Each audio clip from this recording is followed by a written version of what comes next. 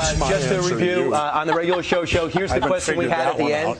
How do you should, should in the in the in the ju- to be totally just, you believe that uh, Dick Cheney, George Bush, and the whole administration should be prosecuted should for their out act. it's, uh, it's, This uh, Governor Jesse Jesse Ventura. Ventura is with us. But uh, but you, if that is the case, then we should prosecute. Uh, we should have prosecuted Harry Truman. Should have prosecuted uh, Abraham Lincoln. Should have prosecuted uh, Franklin Delano Roosevelt. Are you for that? They're dead. But if you talk about justice, They're dead.